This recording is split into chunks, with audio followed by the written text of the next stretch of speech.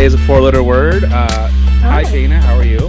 Hey, Ryan. I'm good. How are you? It's good to see you again after I were, we were just talking like 30 Oh. seconds ago. Yeah.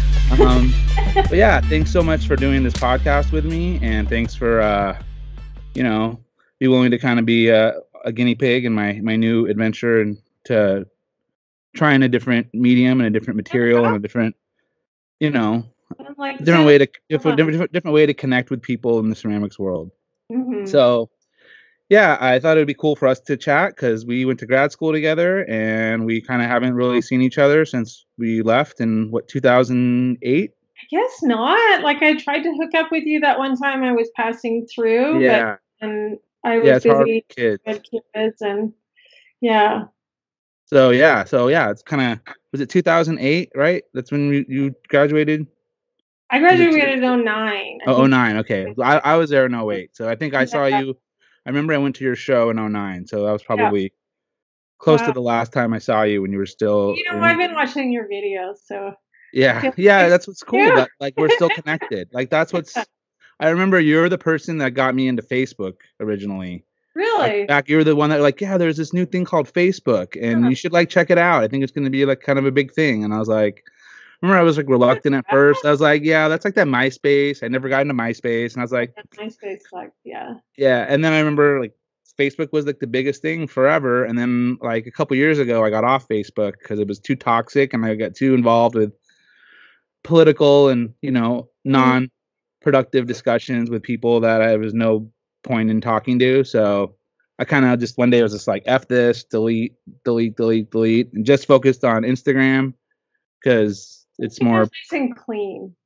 it's and it's a positive you can keep it really filtered and just positive and productive in the way that in the like genre or the things that you're interested in so so yeah so i thought it'd be cool and you're kind of like getting into instagram now right I yeah, I just kind of teased around with it for a bit. I was more doing Facebook, and then now I'm starting to I'm starting to think about you know, I mean, like reaching out to people kind of personally, but also starting to think more about selling online and realizing I need to build a base of customers. So right now I'm having fun with it. I'm posting my plants and my Yeah. cats and yeah too, but but I'm sort of keeping that in mind that that I think that's going to be necessary.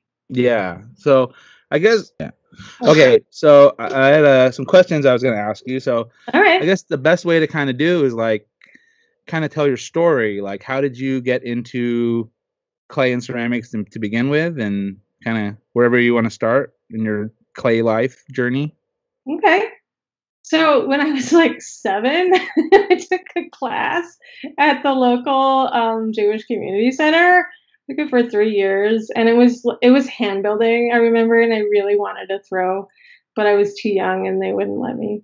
Um, and then flash forward maybe you know ten years later, and I took a class from um, an artist who was teaching once a week, and that was really really fun. And then i started working for um, a ceramic co-op. This was in toronto where i'm, I'm from canada. And i really really enjoyed it and they were great people. They're, it's clay design in toronto if anyone's interested and we're now lifetime friends and from there i actually ended up studying and i went to i went to three years of community college there and then i finished my art degree in um, Nova Scotia at the Nova Scotia College of Art and Design, which is in Halifax on the East Coast. Mm-hmm. Then I had a business for six years, six or seven years, and You were in Nova Scotia. you know, in Halifax, yeah. And I would I would travel a little bit, and I did a lot of craft shows, a lot of that. I did the farmers market every Saturday, and I really loved it. It was a lot of work,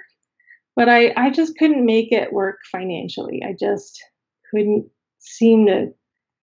I tried all these different options, like less people that work for me, more people. I mean, I tried larger quantity. Was just really hard.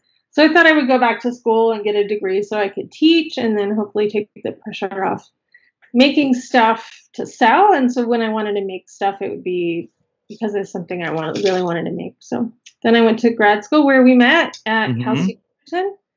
And then I got my MFA there in 2009. And then I had this great residency in Fort Collins just totally kind of random. And while I was here, there were some job openings for adjunct faculty, and I ended up with another residency and staying here. And then um, I was originally thinking of going back to California, but at the time there were very like there were no jobs. I shouldn't say very few. There was nothing. Yeah. I stayed out here and I made a life for myself. And now I do some teaching. I'm teaching a summer class right now in Denver at Arapahoe Community College, which is fun. And I'm teaching at the local guild. Um, and I write. I write for Pottery Making Illustrated. Yeah. couple That's really cool. Articles. Yeah. That was very um, serendipitous. Serendipitous? Yeah. How did that so how did that opportunity happen to do the writing? You know, I got an email from Jessica Knapp, and I it might be because I put my um, thesis on my website, so she could see that I could write, and she liked my mm-hmm. work. So she, but she contacted me and asked me to send her some more pictures of work, and I did, and then I had some story ideas, and then I had this idea for a an article, like a series of articles on pattern, and I pitched it, and they sent me six contracts in the mail. So I'm just finishing that off now. They're finishing the last one right now. Last one, it'll be pattern and architecture. Cool. How's that yeah. process been to develop? Like writing, because I know we we wrote at school for papers and we write emails yeah. stuff, but writing like knowing that you're writing an article that's going to be published in a magazine read by people that kind of know what they're reading like they know that like ceramics people are reading it and you're writing to that audience so how's that like the first few were i gotta admit they were scary like i was i was just thinking gosh i want to you know i want to sound like i know what i'm talking about and and I want to sound, um, I want to sound legit. I mean, just the usual kind of anxiety. Yeah. You want to sound articulate and educated. Yeah. And... Yeah, and the, what I ended up doing was I was in in Bali in the summer of 2012, and I um, got really excited about this kiln build that was going on. So I pitched doing an article about that, and that ended up being my first article. So it was kind of more technical, and it was more about the process of of building this um, kiln. Call, we called it the Gaia Gamma, and it was made with raw brick, so it was fired. Oh wow! Uh, it was fired in in place. place. Yeah, yeah. Um, and then I did the two articles about my work, and I got, it got easier and easier. And now, honestly, I sit at the computer and I just I just write. I have an idea, and I just I've learned to just like almost stream of consciousness, just sit there and write, and then after a a little while, I start to I get a paragraph. I get a couple paragraphs. just edit and refine it.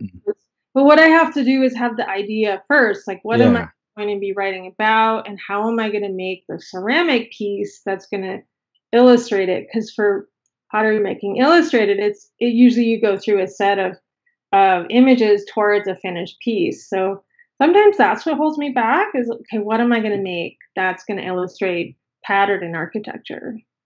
Mm. I mean, that actually, I've been sitting on that idea for like three years. Oh, and wow. One, and I finally figured it out, I think. I don't know, sneak, sneak preview. Maybe there's this really cool um, building I just drove by in Denver. Oh, cool. The Chase building. I can send you the picture of it. And it's, yeah. It's the first building. I've taken a lot of photographs of buildings because um, they're just so interesting to me and, and like the architectural cladding and all that stuff. But I couldn't think of a pot until I saw this building. So I'll send you a picture oh, of it. That's exciting. And hopefully it's going to be the thing I make the pot out of. Sometimes, sometimes it, the idea doesn't work, and I have to try something else. But. So you want to make the article kind of about that building and a pot inspired it, by the building, sort of. Yeah, and and then it's also about the general idea about in, inspiring pots by building, let's say, or you mm-hmm. know like in, inspire how to work with an inspiration how to develop ideas because i feel like people really really are hungry for that. They really want to know how do i get how do i get the first idea? How do i start? How do i transfer things from that i see in the world into into clay right? I mean that's hard. Right. have you read the book uh, by austin kleon called steal like an artist? No. Sounds good... familiar. Steal like Steal like an artist. I think I yeah yeah not, it's a popular book amongst the art art community, and it's a good uh yeah it's a good read if you're uh in a way to kind of it articulates the way of uh, a good way of like taking inspiration from other resources, whatever it is in the Oh. world that you see, and kind of just gives you like a license or like a it kind of gives you like a little more like oh it's it's okay for me to be influenced by these things and to take Yeah. that direct influence and apply it to my work in my own way. Obviously, you don't want to copy, but like you can't reinvent the wheel. You can't. Everything's been. I mean, it's so hard to create new shapes and Yeah. forms and There's textures. no, so it's really like, just taking everything. where artists pull ideas out of like we're some kind of magical beings you know like i think what non-artists don't realize is that we we just are kind of allowing ourselves to take things from our environment you know Yeah. and then riffing on that rather than like thinking everything has to be this beautiful brilliant idea right from the beginning Yeah. Well, m- pretty much most artists. Yeah, I think most artists have to work from personal experience. To some, it has to be personal. It doesn't have to be emotional, but it has to be something that like in, inspires you or influences you or you're attracted to or memories that are important to you. That's what makes good art, you know. I think there's people that just make standard like, oh, this is just elements of art, you know, which is mm-hmm. awesome. Like color line, shape, value, texture, space, and like rock it. But when you're putting some of yourself into it, that's really what's awesome. But it's hard for students to be able to understand how to do that. yeah Because I understand coming from a teacher's perspective, you're like, well, you just do it. And then when you're trying to teach, you're like, they're Yeah. like, well, where do I get my ideas from? It's like your life. Well, what do you mean? Like, it's challenging. That's a really good book, though. And Mhm. even the, just like Yeah. the first like 20, 30 pages of it, like you can, I photocopied like the tw- first 20 pages and we read it in my class as like a textbook. Not a And can textbook, but the- yeah, it's on it's on Amazon. He's done like two other follow up it. books, but it's really good. you were yeah you're just saying you could find them on amazon yeah um maybe i'll find a quote from it and i can put it in the article Yeah, for sure. Yeah, it's it's. I mean, just the title itself is "Steal Like an Artist," you know. Yeah. Like- and I'm not a big reader, but that's one of the books that I've read a couple times, and you know, it's a good, it's a good, it's a good, uh, it's a good art book for non like yeah people that aren't like big readers. I guess is a good way to put it. It's like writ- the way it's written is very much like a like small book. Each page only has like maybe a sentence or like a paragraph. So it's not like a like a lot of oh, oh like, okay in-depth reading. It's a lot of like bullet points and illustrations and it's it's a really easy read. Like you you could read it if you're a reader, you could read it easily read it in like an hour, a couple hours. So okay. yeah, it's a good it's a good resource.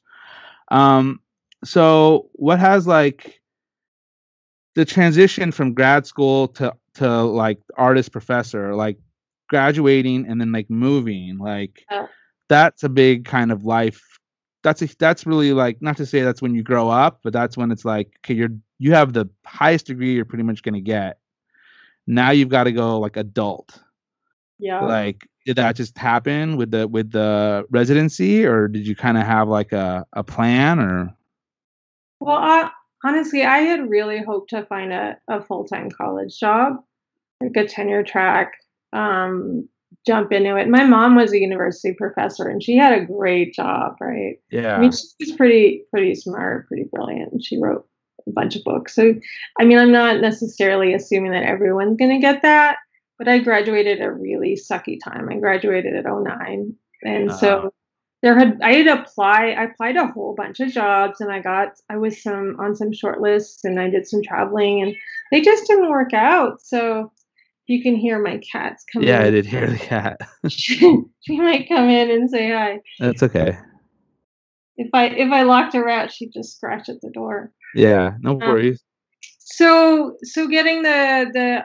residency was great, and then getting I got a, a few adjunct jobs, and at that time California was there were no adjunct jobs. I mean, there really weren't.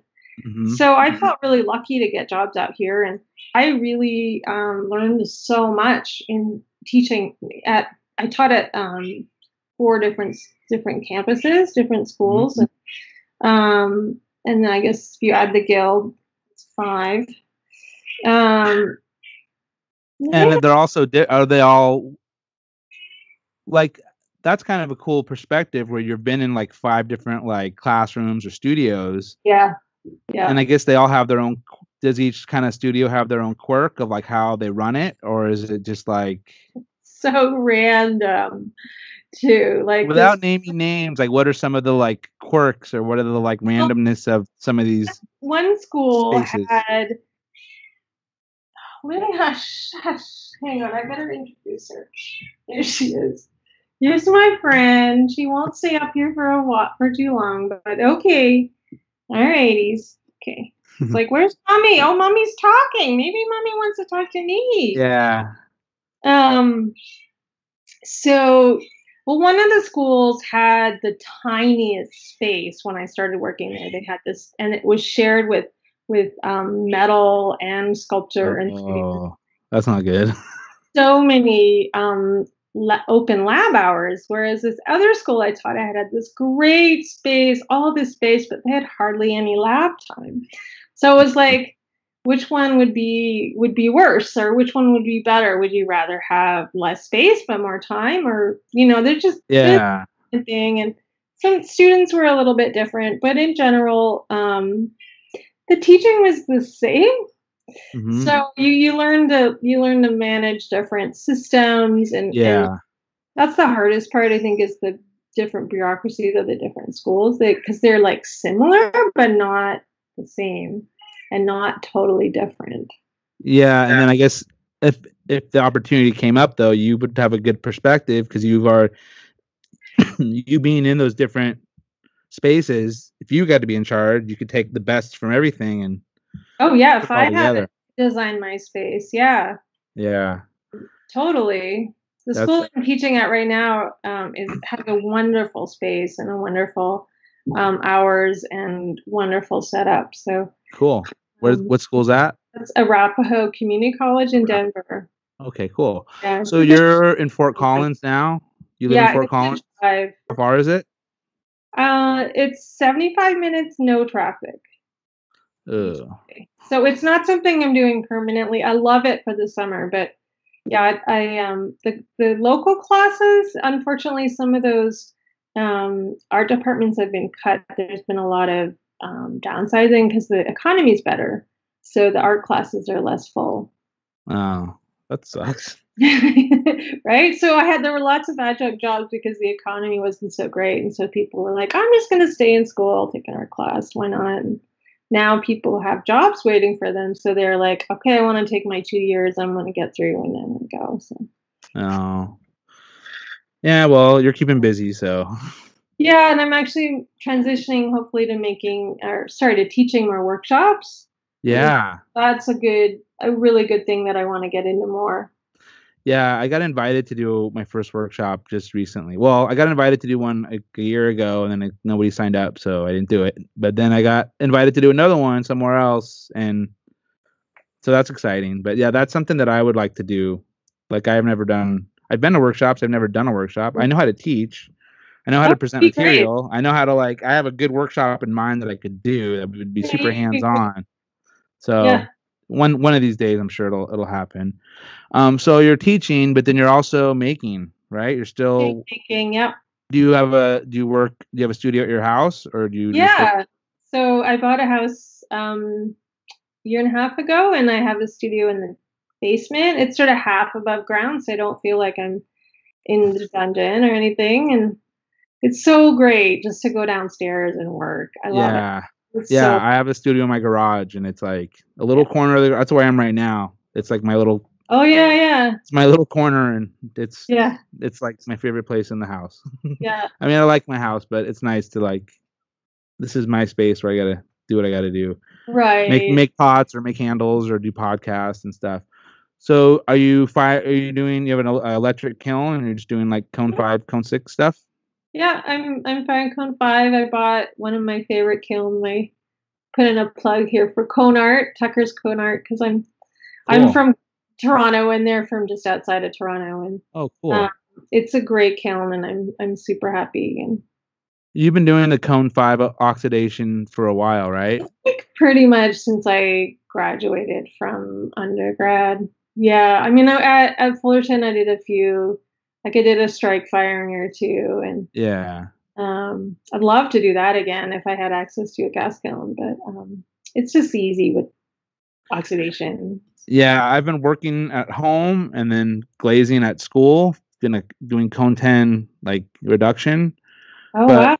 But that's what I've been doing, but like we just decided to switch to cone 5, 6 oxidation. That'll I'll do in the gas kiln, but the kids like brushing the glazes on, so we're going to brush glazes on and not on everything. I'll still have buckets to dip, but so I've kind of made that decision at work. So then I kind of was like, okay, well now if I'm switching to all cone five, cone six, Yeah, then I might as well start firing at home. So I'm just starting to now do like cone five. Well, I'm doing cone six for now at home. Oh. But what's the difference? What what's the difference between five and six Well, to it- to you? depends on your materials. I was firing mainly six. Actually, in my business, I fired.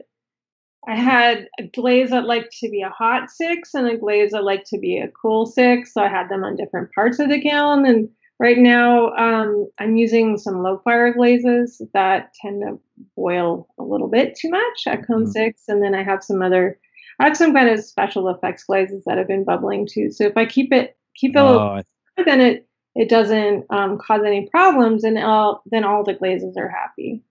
Yeah, that's cool. Yeah, I've been using mostly underglazes and some stuff, so they they're pretty forgiving. Your, Um, ha- your sneakers, have you been firing them at ten?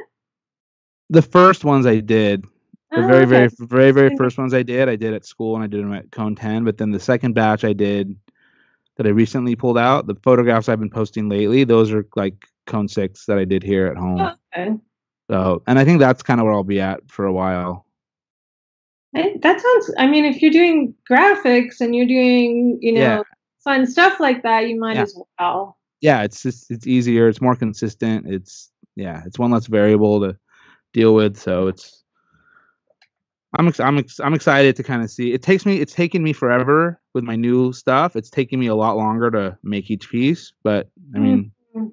so it's like I'm not I'm not filling up the kiln as fast as I would like, but it's okay. Like it's all good, you know.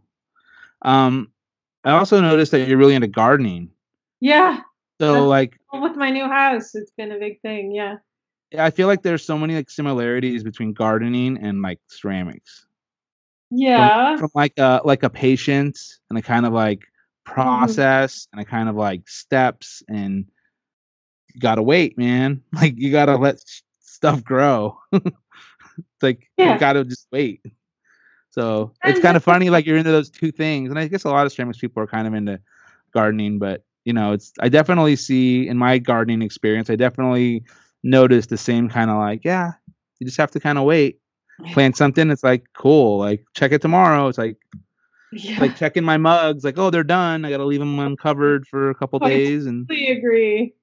Sometimes totally it's a matter of like, oh, it's too hot right now. I have to wait a few hours to go out, which is so similar to like, oh, my pot's a little bit too wet. I gotta wait a few hours. So, I never made that connection. That's good. yeah when there's in, a million variables of way things can go wrong Yeah. often out of your control and it's up to you to kind of like zig and zag to, to kind of deal with i guess you're yeah the, yeah I, it's kind of cool to see your like gardening posts because i'll be scrolling through my thing and it's like pots pots mostly pots ceramics then it's like plants like oh oh Shana's oh, oh Shana cool and then I'm gonna oh, there's a Shana pot, and Glad you like them. They're yeah, good. yeah, it's fun. It's kind of fun to see. Like, it's I, I can tell you're really into it, and you know what you're talking about, and you can identify the plants Oh more gosh. than I can. So I'm like, well, oh, I know cool. the common names, not the. Well, yeah, but that's more than I know. I know like, oh, that's a flower. That's a pink flower, and, Yeah. and I know I know some stuff, but I'm not a, I'm definitely not a botanist. Um, so with your process of go, now going kind of to your work, Mhm. like you're i know from like you know working kind of working with you and seeing your work you're you're so into like making parts and then putting parts together that's kind of one of your fundamental processes right Yeah, and, Yeah, and you're also really into like all these different Right. patterns on these different pieces definitely. so what's the kind of like what's the thought process between between behind all these multiple pieces and patterns and making it look like it like how do you how have your what's your process to kind of put all these variables together? All together. I feel like i i have some more simple works that i'm doing right now and i haven't done work with a lot of pieces in a little while. Um so i'm not sure i could speak to that if that's what you're thinking of. Um like are you spontaneous when you're putting pieces together? Are you very like calculated and planned out? Like do you sketch each like this piece with this part and these patterns? Or are you kind of like here's a bunch of pieces and i'm just going to start like instinctively grabbing things and putting things together usually like for a, a new body of work it starts just like that really loose and i'll make a lot I make a lot of stuff. Like i have this fear of only having one throne or two pieces. I want to have like five of this and five of that and five of this and and then it'll be more playful. And then the same will be with the decoration. But then as i go through the cycle let's say it's the second or the third time that i've made that particular um, form i get a little bit more clear on what's going to happen next and what's going to happen here. And then i'll jump to a new form if i want to play around again Mm-hmm. I haven't played that much. Like I, in grad school, I was doing those really kind of fancy attached things, and mm-hmm. I've done a little bit of that since. But I've kind of got, gotten to like like just more simple form and sort of so there's a simple, more simple surface for the decoration. Mm-hmm. I mean, and more and focus more on decoration. Yeah, I mean, I'm doing both, I guess, but it's a little bit less pastiche and a little bit more kind of um. My cat just came through. Oh, your cat. Oh, yeah, wider than mine. If I, had, if I, if I could grab her, I'd grab her, but she's um, she's going to find a mouse or something to kill and leave in our living room. It's awful. she's an indoor outdoor cat, and she's yeah. just like her name is She-Ra, which I don't know if you remember uh, He-Man back in the day.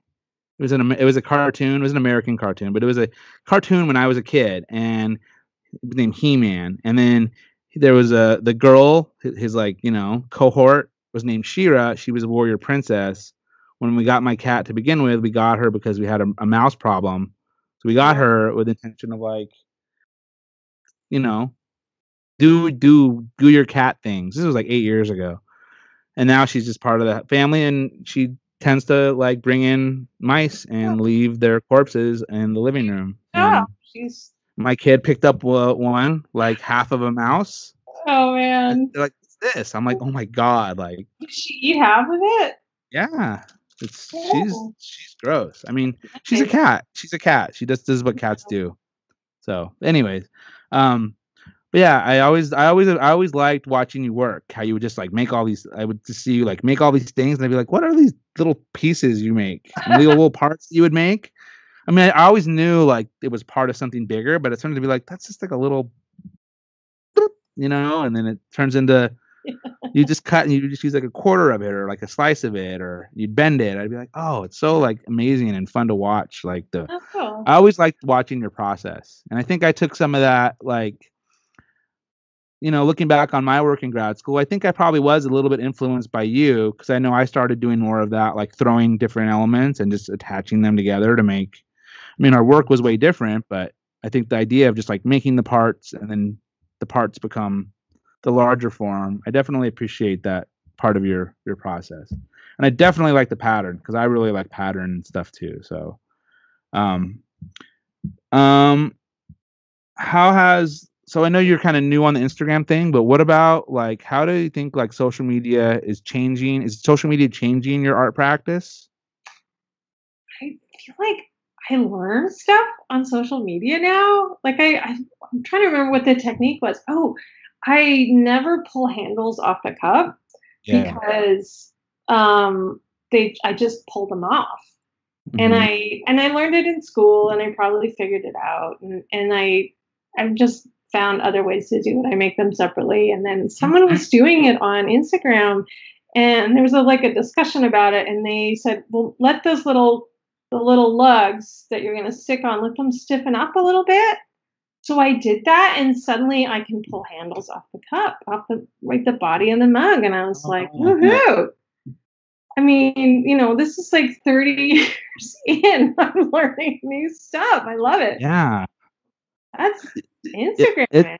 I mean, I think there's so much it's hard because I can get sucked into it, or I'm like on it and just looking at things, and just going in, going into like stalking people's profiles and looking at videos they posted a long time ago because it's just like interesting and um but I've learned so much on social media. Like I learned so much on Instagram. Like I feel like it's I feel like since I really took my life on social media more like not a job, but more of like I'm here to like connect with other ceramics people and learn about ceramics and and kind of took it more of like not school or a job, but took it more serious like that. I feel like it's gotten me a lot.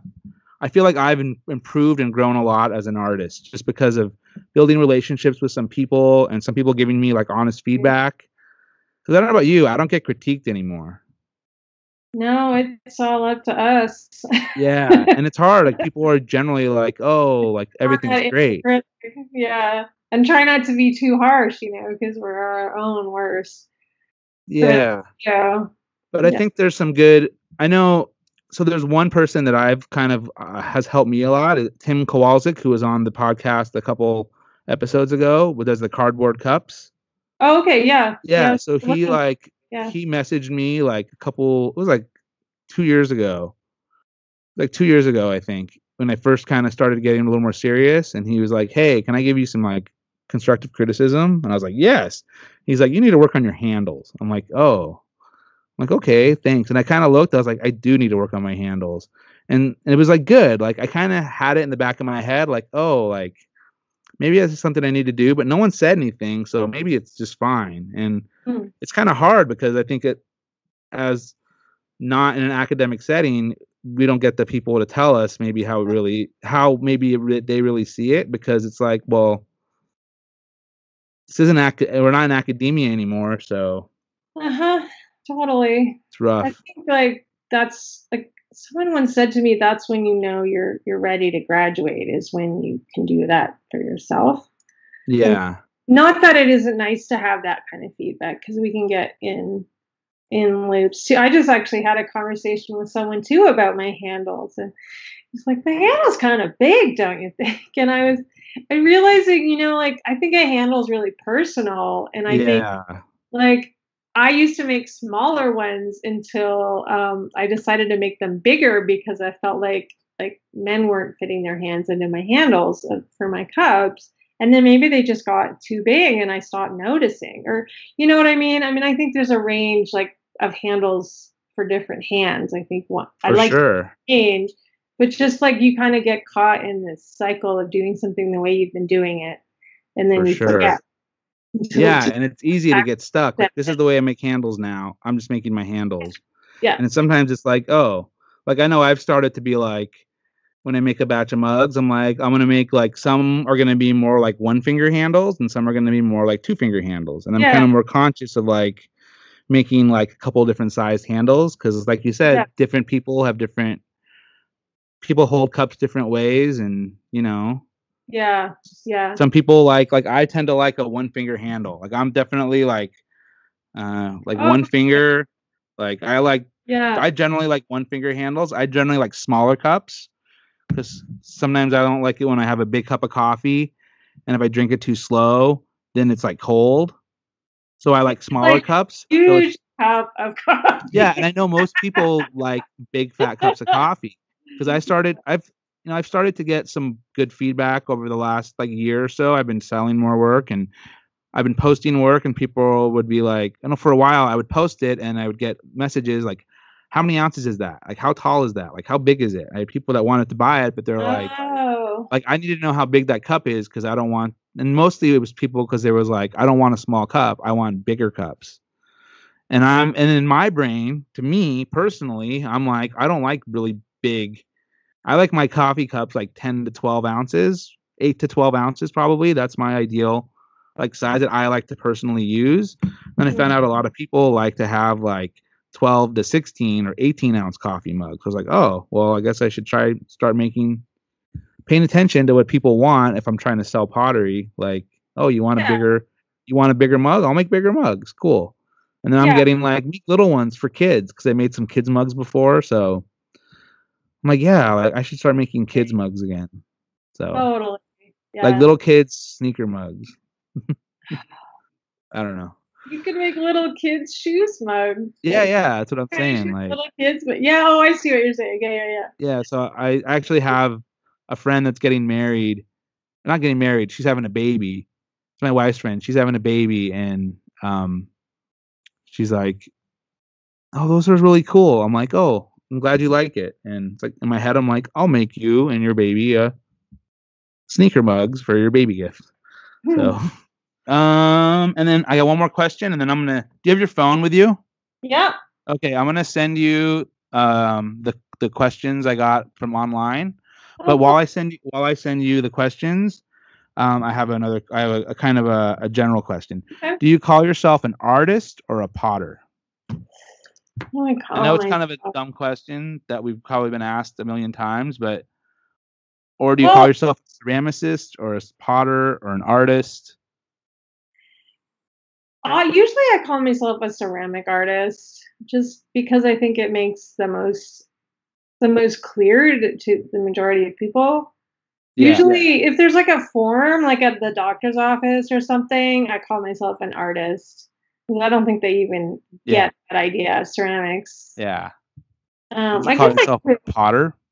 I have sometimes if they look at me a little blankly when I say ceramic artist. Yeah. Sometimes I say that to mean that I make vessels instead of sculptures. Sculptures. Yeah. Yeah. It's just dumb labels. Uh-huh. Where did you? How did you send those to me? In in In the on your Instagram.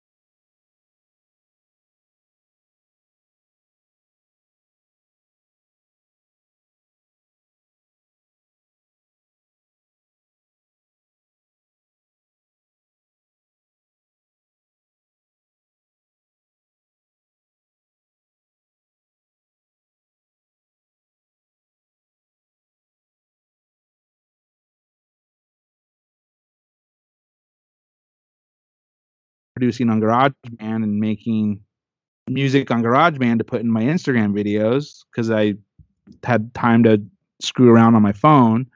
is and that when music? You said I've Yeah.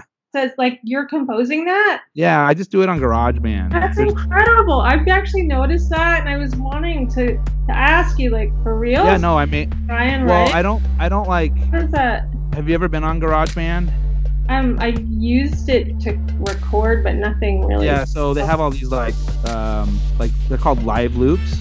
So it's just like a, it's just like a loop, like a like a drum beat, and it just like repeats itself. And there's different, but yeah, you just take all the uh, all the beats and all the live loops, and you just kind of pick and choose the ones you want, and time them out, and space them out, and I mean, when I was in high school, I played. I played music a little bit when I was in high school, not Oh. very well, but I learned to play guitar and bass and have a basic under and I listen to a lot of music, so I have a basic understanding of like how a song is made and generally I just get a bass line and a drum beat and find some other instruments that sound cool, but yeah, like the, the music for the intro to the the podcast, like that's Yeah. my that's my song that I Yeah. and in my head I've like in my head I'm like I should like I should like rap over this. Like I, should, I should like I should like Yeah. yeah, but I haven't. But I'm like uh, it would be really funny if I like actually put lyrics to Yeah. it. It's hilarious. And make but make it ceramics lyrics. Oh, totally. Yeah. Like, you know, Yeah.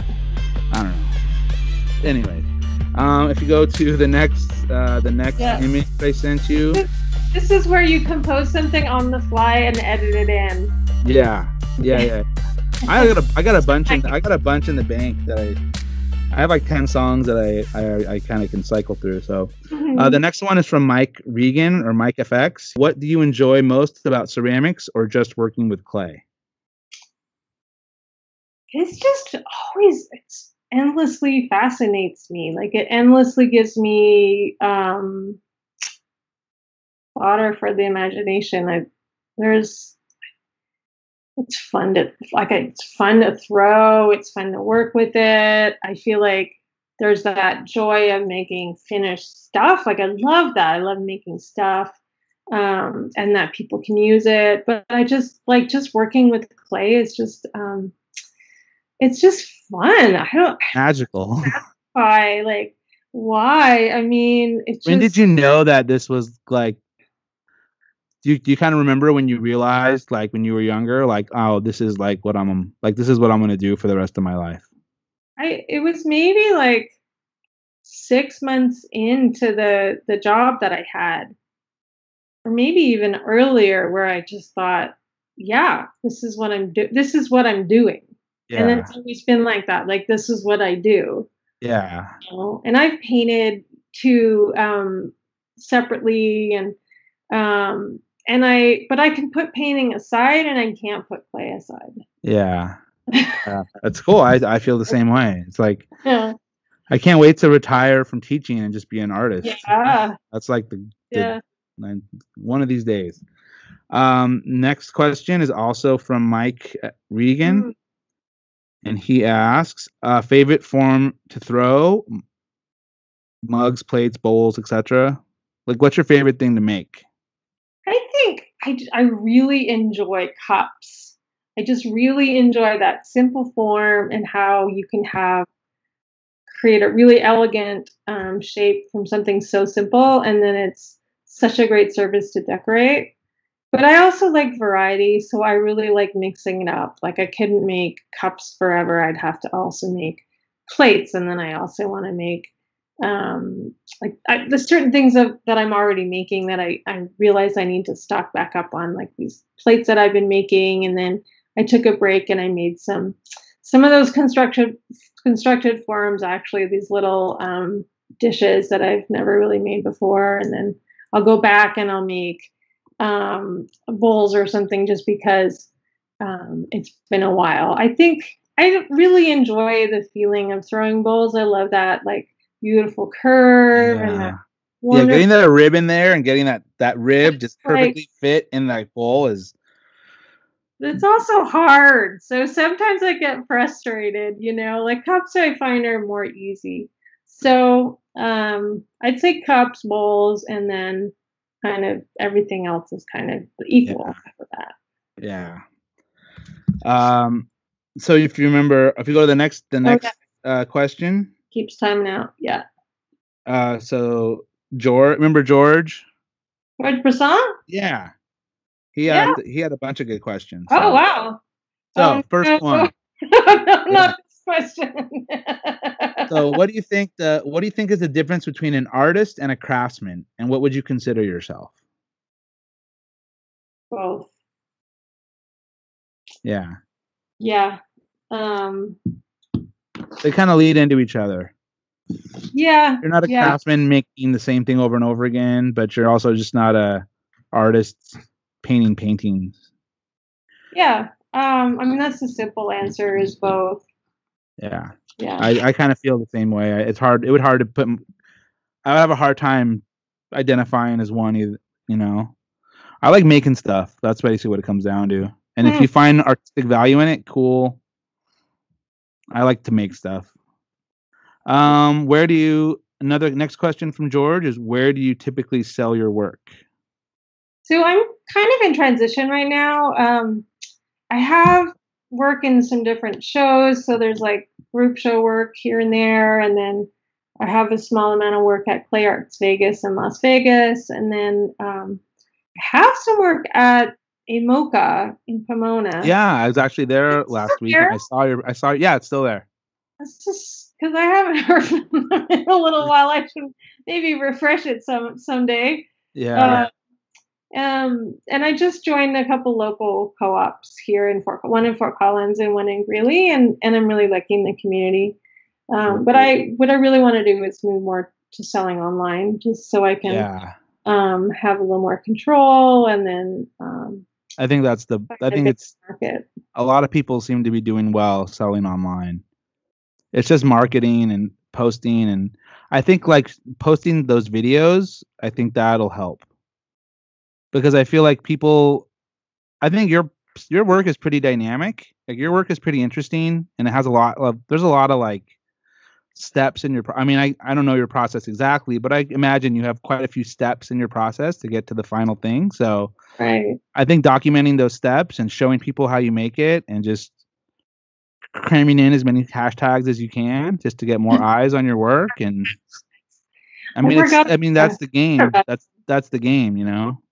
Yeah. If you want to sell online, I mean, I'm not a pro at selling online, but the because people will search by uh, the hashtag. So someone will just look, look up hashtag ceramics and they'll see everybody that's posted hashtag ceramics. So then you'll get more eyes on you than just not putting any hashtags. I kind of forgot all about hashtags for the last. Yeah, hashtags are important.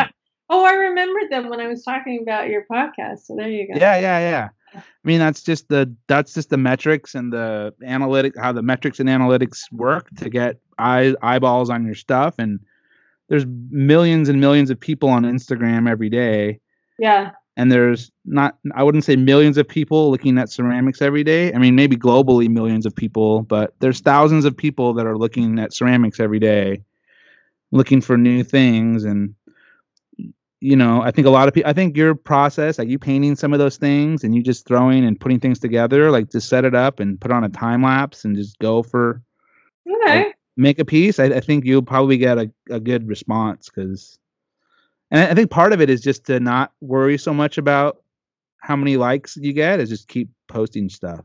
Right. Just really play the long game, you know? Just like, Mhm. oh, if you're going to sell online, like you got to start getting your, Yeah. you got to get more people to see your stuff. And Yeah. I feel like people will want your stuff once they're seeing it on like the the more like the Instagram ceramics community, like yeah. the people that are buying mugs, the collector people that are because there's like people I follow that don't make ceramics, they just buy ceramics and like post their collections. And they like live they like live with ceramics. And they're like Nice. I'm they're like- people. they're like the, yeah, that's what I'm saying. Like they will I bet you they would love your stuff. But Oh. you know, some of them follow me, so I'll they'll they'll be seeing your stuff. well, I'm going to be posting more and more. My plan is to try to ramp up to the holiday season this year. So. Yeah, I think we're all. I think we're all ramping up to the holiday season. I know, but every year I go, okay, this is the year, and then if it gets to like September, I'm like, oh, I think I missed the missed the arc. So I'm gonna, this year is the year I'm really gonna try. Yeah, just start now, and you know, just plan ahead for some online sales, and you know, you can kind of hype it up a little and put some like, hey, I'm gonna have a big update on this day at this time, and Yeah, I we mean, were sometimes it works, about- sometimes it doesn't.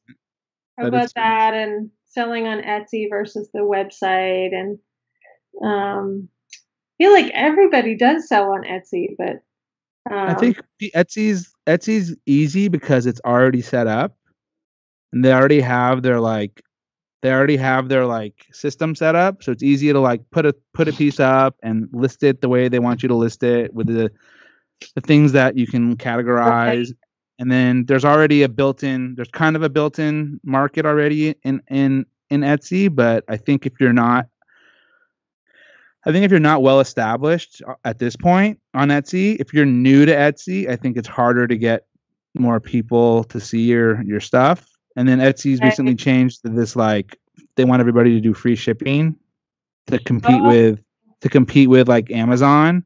So that I mean the trick is oh just just price your work with the shipping included, but yeah. I don't know, not everybody's doing it and and then having your own website, it's as long as you can manage it and you have the like way to the e-commerce to sell, I definitely see the benefit of having your own website because I know I've heard on the Potter's Cast because Paul Blais on the Potter's Cast talks about this a lot, and he's very against Etsy because he's like Etsy owns. It's not like Etsy owns your work, but Etsy kind of owns your work. Like they don't own your work, but they're kind of the filter and they're kind of the the middleman. That's kind of like they're taking a chunk and they're and the customer is kind of their customer. And if the customer is getting to Etsy through your website or through your social media, yeah, why not just push them to your website as opposed to pushing them to Etsy? Yeah, I think so I'm gonna try that first because I have a really good. I have a. I've been subscribing to this um, website service called um, iCompendium. Mm-hmm. One of the process uh, Fullerton told me about it that he uses it, and I pay an annual fee, and it's mm-hmm. all set up for artists. So it's it's image galleries, it's resumes, it's yeah, um, artist statements, and there's repositories for videos and stuff, and then I can sell online. So yeah, that's cool. I'm gonna try that first, partly for the stuff you were talking about, but also like I once went on Etsy to look for ceramic artists and I had the hardest time finding anything of quality when I entered it's in. a lot of like commercially stuff or yeah, I couldn't figure out how to make it come up with something great. So. Like some unique. Yeah, I think if right? it's it's Etsy's a weird place, but like most all my Etsy sales go through my Instagram. Right. Or I mean, I would say 99 95% of it is through Instagram. If people are like on my Instagram, they see my work and it's like click the link in my bio and it takes them to Etsy. But if that link was taking them to my website or another Yeah. You know, I know like Amazon Amazon is doing one. I think there's Shopify is another platform. Yeah. And, and, you can just do your own website and do it through like uh, an add-on on whatever how are you build your website? My own website first, and then I can add that stuff on. Yeah, yeah. I think if you already have it set up on your own website, I think that's. I think I'm gonna try it. Yeah. Good luck. yeah. Try. This is, yeah. this is the year. This is the year I'm really gonna make it happen. Yeah, I mean, you just got to do it, and even if it doesn't happen this year, you just got to keep going. You just got to yeah. be like, this is it. Like, selling online is the future, so you got to start selling online. And it's not like the work that we make goes bad. I mean, if you don't sell it this year, you can yeah. sell it next year. That's why I never. Like, it's not like milk. I never put the date on my blog. Yeah, I stopped doing that too. I stopped doing that if, like uh, six or seven years ago, like 2011, 2012, 2013, somewhere in there. I was like, I, I should stop putting my name. My I put my name, but yeah. why why am I putting the date? You know, like it's get in trouble with that. Yeah. Well, this was from five years ago. Like, why are you giving this to me for Christmas? You made this five years yeah. ago. Like, oh, exactly. Yeah, Merry Christmas. Uh, yeah, that's happened to me. Um, next question from George is Does the school you go to matter, or is it more about the work ethic you have to push your creativity forward?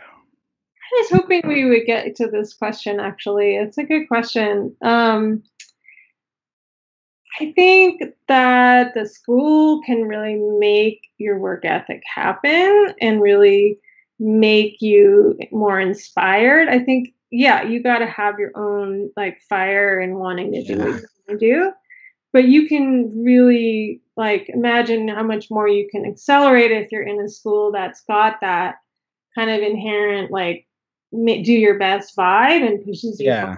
and has great teachers and really um, is in, really inspiring.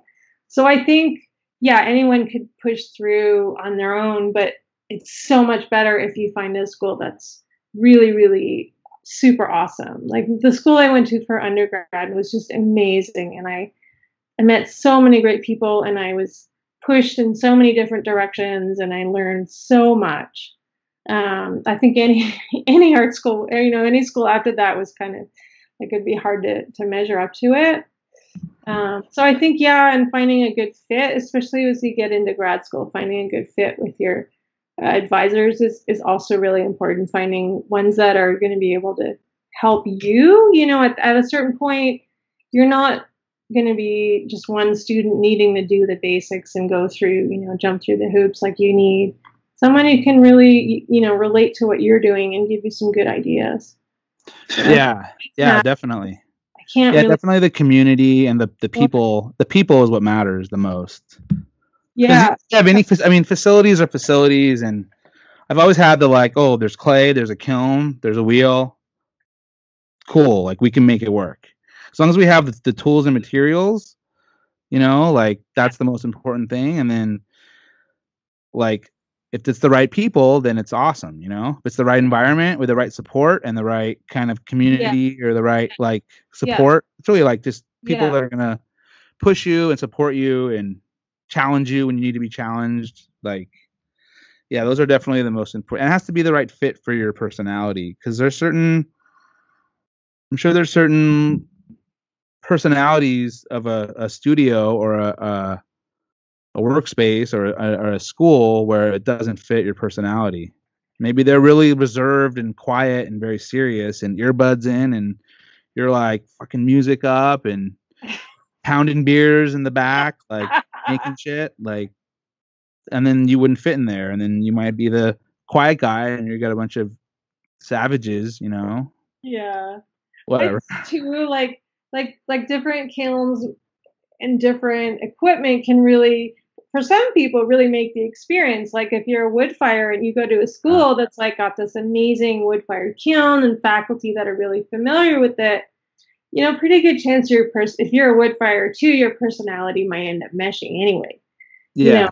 so i think that is important but i think it's all it's the whole package it's the people are really really important the faculty and um yeah the other the other students too i think and i think having variety i think um more and more i think um in terms of like going to different schools like find a school in a totally other part of the country you know? i li- really like the um special studies that people are doing the post baccs i think those are a really good idea because you can get in another school without having to have go through the whole mfa or ma application. So I think in that the more more people you have who know you and know who you are and like your work and you and can recommend things to you, the- better. So Yeah. I think those things can really help. Yeah, I think definitely having different perspectives on your work is really helpful. I remember when we were at Cal State Fullerton, I always liked when Ken Takahashi would talk to, to Oh man. like I remember like cuz he was a sculpture guy. yeah. He was able to come to me and look at my pots and talk to my pot, talk to me about my pots and would tell me things that I was like, "Damn, like that's good shit, man." Like Yeah, we were so lucky to have that him there and then the you know, just such a different point of view and and yeah, him and Vince and Nobu were all very different. yeah. and all in their own ways. And yeah, it was it was uh yeah, I, I have a lot of good memories of Cal State Fullerton. Uh, next question from George is: What advice would you give to any young potter trying to do ceramics for a living? Take care of your body. Take care of your body. Yeah, yeah, because um, I, I think well, I mean, if you're trying to make that your main source of, of income, you're gonna have to make a lot of pots. So you're gonna have to be able to work really hard for a long time and and just you know make like do do yoga, do Pilates, do stretching, do whatever you have to do to Yeah, to keep to be able to do that because it's it is it's a lot of physical labor. So you yeah, you got to be okay with that or else you go into this like the more designy um, area but then you have to market your work more so um, yeah. you know there's so the di- different ways to do it um, yeah You still do yoga? i do i did yoga today actually Yeah, I remember you, you were always like, "I gotta go do. I'm going to do yoga. Like, I'll be back. I'm out." yeah I, I had i had to take care of my body Yeah, I know. Yeah. That's awesome. Yeah, that's Yeah. definitely that's good advice. Take care of your body. yeah Uh, mm, last question from George is, who has been who has been your biggest influence? Um, I think you know who I'm going to say.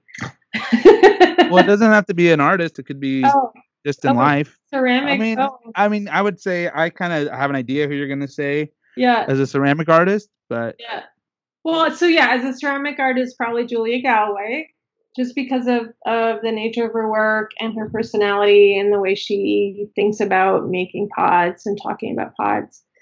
Um, but yeah, there has been there have been so many other um, artists and, and ceramic artists that have been influences. Um, um, but she's probably the one, the biggest one. I took a class with her right before I did grad school, and it was pretty yeah, pretty life changing and, and a lot of it was was the way that like the quality of, of her kind of attention to detail and to um, to looking at like historical imagery and to, to being a good like good craftsperson being careful. So there were a whole all these different sides to it that really got affirmed for me when i when i studied with her. And as a teacher i try to be as good of a teacher as, as her too yeah. Do you have any new ceramic artists that you've recently discovered that you think is really exciting, or Oh, I wish I I need to think about that ahead of time. Um, yeah, I mean, but you're still you're still finding some new stuff that's, always. that's excited yeah. excites you? Yeah, I just bought a couple of mugs from um, Eva Lee's Champagne. She Mhm. just um, she just moved to Bali actually to be the new um, director at Gaya Ceramic. Oh, cool.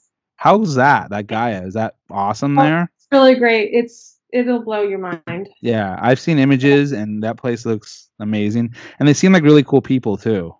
Oh yeah, everyone's really great. I mean, they're it's like you're going to this really cool part of the world with clay people around, you know.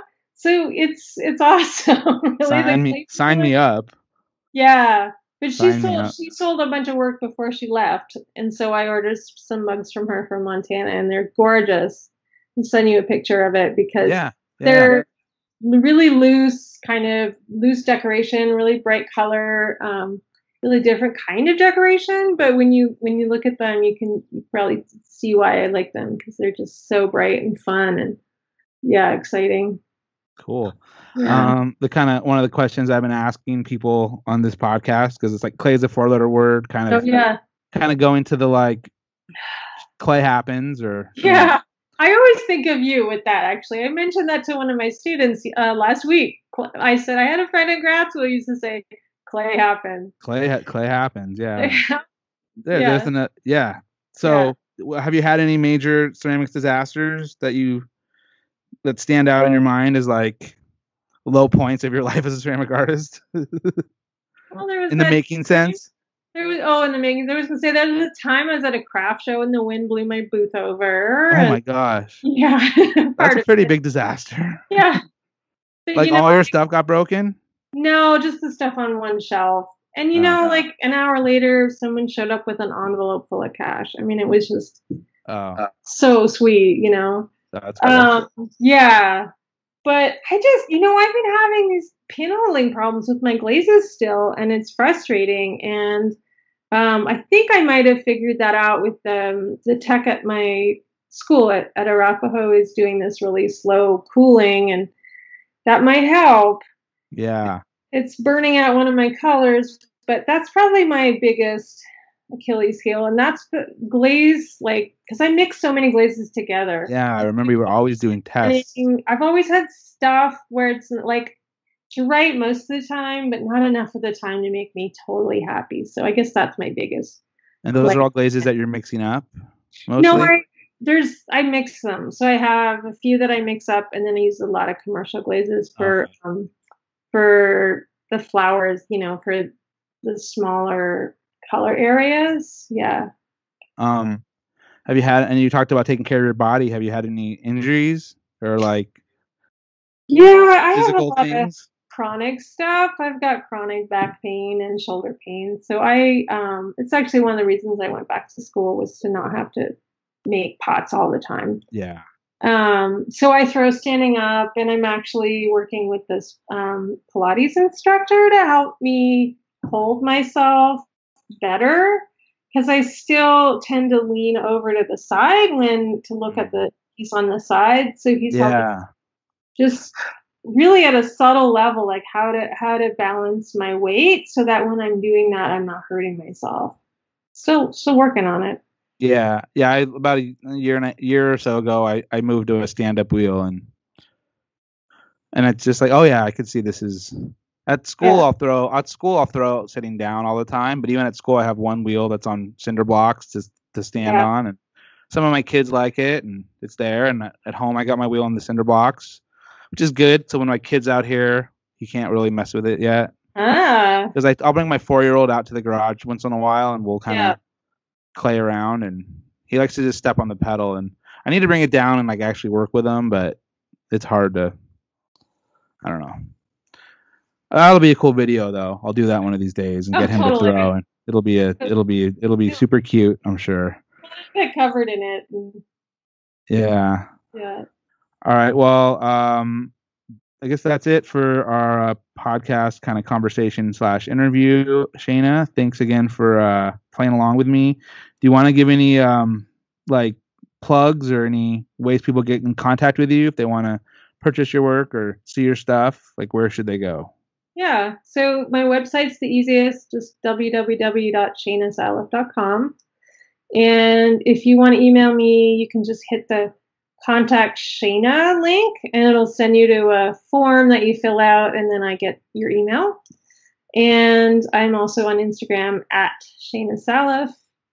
And you can find me on Facebook too if you if you want. I don't mind. Drop me a line.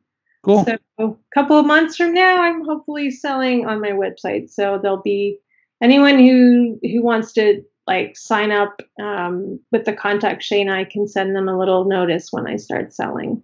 Cool. Awesome. Well, thanks again for uh, t- talking. It's good to catch up and kind of see where you're at now. pleasure. So nice to see you, Ryan. Yeah. Are- you going to NCECA next year? Yeah, I've been trying to go every year now. It's so much fun. Cool. I haven't been I haven't been since 2009. It's your teaching and working. Yeah. Well, I think getting married and having kids and Okay. like like I Yeah. got what happened was I got I graduated, I got my I got my degree, and Hmm. then right after I got my degree, like that summer, I bought a house, and it was a total dump of a house. Uh, So I like fixed it up, and then in 2013 that was in 2008, and then in 2013 I sold it and bought another house, and that was a fixer, and I was there for like four years, and then in 2017 I I sold that house, and then moved to the house I'm at now with our two kids, and this house needs a bunch of not a bunch of work, but this house is like it's like livable for now, and then in like 10, 15 years when my kids are a little older, then we'll fix it up because they're just gonna thrash it. So, so like I spent 10 years, like eight or nine years of like getting married and you know learning about home repair and home remodeling, and I've remo- I've remodeled two kitchens and I can Oh. do tile and bathrooms and wow. so yeah, I kind of wish. Part of me wishes I just bought a house and fixed it up and stayed there and just started making ceramics. But it's cool. I'm here now, so Oh, you've learned really good good things that you can always use yeah, yeah, yeah, for the rest of your life. Yeah. yeah. So. So yeah. Anyways, that was a bit of a tangent at the end, but uh, I'll uh, I'll I'm gonna hit stop and see on the si- other side of the stop button. But uh, thanks for having this conversation. Yeah, thank you. Cool. All right, thanks. Bye.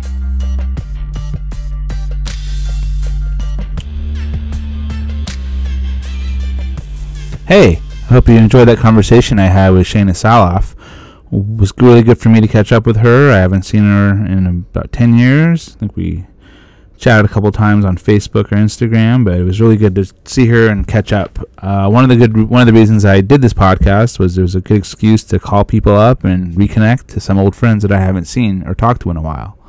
And then also a good excuse for me to call people that I think are interesting or cool or have cool stories to tell. So hopefully I got some good stories coming up in the future and some interesting guests with different perspectives in the ceramics world. Um, anyways, uh, if you're watching or listening to this, uh, if you like, rate, review, and subscribe on whatever you're listening to, especially if you're on iTunes and Spotify and uh, YouTube. I appreciate the subscriptions and the comments and the likes. Um, if you're interested, I have some stickers I'm giving away. Uh, if you send me a direct message at Clay is a four letter word on Instagram, I will send you some stickers free of charge. I'll, I'll pay for the shipping. You just give me your address. And if you do want stickers, I appreciate it if you're one of those likers and subscribers and commenters. Um, next week, I have a big announcement to make, kind of going with the swag, uh, clay paraphernalia, as I like to call it. You know, stuff that has to do with ceramics, but not ceramics. It's like paraphernalia, I think. I don't know. Anyways, once again, special thanks to Shana Sala for being my guest and my wife and kids for putting up with me. Uh, new episode every Tuesday. Uh, follow at Clay is a four letter word and at Ryan Reich Ceramics on Instagram. Also, you can find it on Facebook. If you have any questions for future guests, I'll be posting that in the stories the day before or the day of. I'm doing the interview. Um, so keep an eye out for that. Uh, my name is Ryan Reich, and thanks again for hanging out with me and Shana today on Clay is a Four Letter Word. Peace.